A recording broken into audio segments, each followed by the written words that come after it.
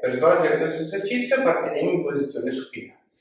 Le mani saranno sotto le vostre spalle, piedi e gambe distese, da qui tiro il corpo e sollevo il bacino, raggiungendo una posizione di allineamento tra spalle, bacino e tallone.